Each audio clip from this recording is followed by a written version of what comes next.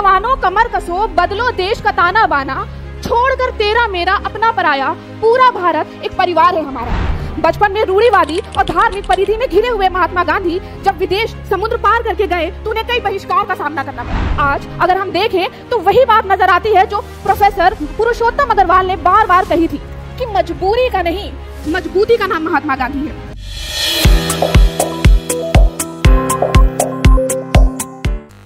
देश के लिए जिसने विलास को ठुकराया था, त्याग कर विदेशी धागा खुद ही खादी बनाया था।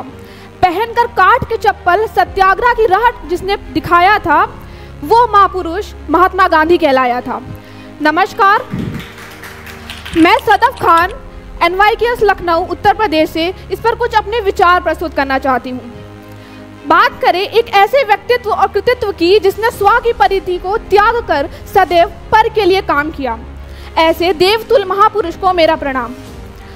मुझे गर्व होता है कि इस देश पर एक ऐसा हार्ड मास का पुरुष पैदा हुआ जिसने बिना किसी हिंसा के अपने संकल्प के दम पर इस देश को आज़ाद किया। आज अगर हम देखें तो वो रास्ता आसान नहीं था। मोहनदास करमचंद गांधी से महात्मा गांधी बनने तक का सफ़र आसान नहीं था। बचपन में रूढ़ीवादी और धार्मिक परिधि में घिरे हुए महात्मा गांधी जब विदेश समुद्र पार करके गए तो उन्हें कई बहिष्कार का सामना करना पड़ा।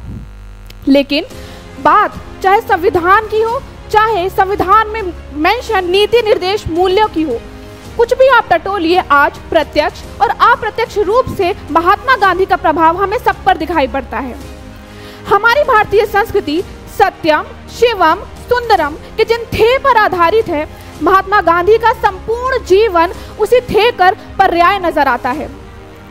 आज अगर हम देखें तो वही बात नज़र आती है जो प्रोफेसर पुरुषोत्तम अग्रवाल ने बार बार कही थी कि मजबूरी का नहीं, मजबूती का नाम महात्मा गांधी है। क्योंकि जब आप असत्य का साथ देते हैं, जब आप झूठ का साथ देते हैं, जब आप अहिंसा का साथ देते हैं, तब आपको मजबूती नहीं, मजबूरी की ज़रूरत पड़ती है। हमें मजबूती की ज़रूरत तब पड़ती है जब हम सत्य का साथ देते हैं और सर्वोपरि हम उस उस उस विचार का साथ देते हैं जहाँ हम बात सबकी करते हैं, बिना किसी भेदभाव के। आज अगर हम देखें तो बड़े बड़े संगठन जैसे United Nations World Peace Organization ऐसे ऐसे अलायंस और एग्रीमेंट पे बात कर रहे हैं, चाहे वो डिसआर्मामेंट हो पीस रिजोल्यूशन हो। लेकिन यही बात, यही विचार हमारे महात्मा गांधी ने बहुत पहले हमें बता दिए थे। उन पर चलना की अगर हम बात करें तो विडंबना देखिए कि आज हमारे देश में, जैसे सर ने कहा कि मुख्य तिरपन गांधी मार्ग हैं। लेकिन हम गांधी मार्ग पर तो चलते हैं, लेकिन गांधी के मार्ग पर चलना अभी बाकी है।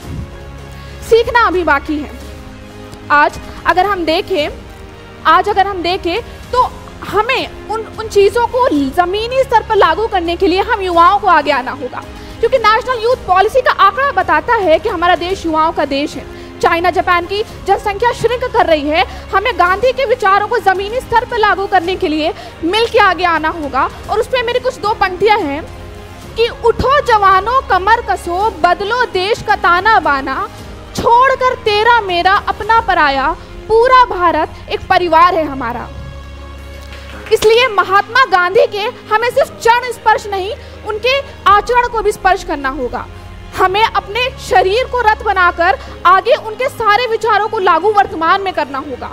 उस रथ में जहाँ शौर्य और शक्ति उस रथ के दो पहिए बनेंगे, जहाँ पर त्याग, ईमानदारी उस रथ के घोड़े बनेंगे, उस डोर के लिए जो सत्य और अहिंसा के लिए बनी होगी। जहाँ पर त्याग उसकी ढाल होगी और एकता, एकजुटता उसकी मिसाल होगी।